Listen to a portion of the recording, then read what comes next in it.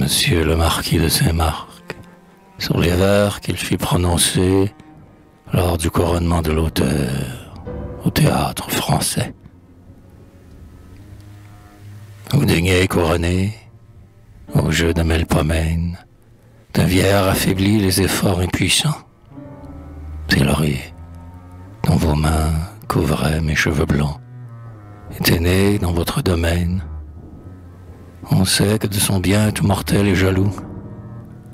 Chacun garde pour soi ce que le ciel lui donne.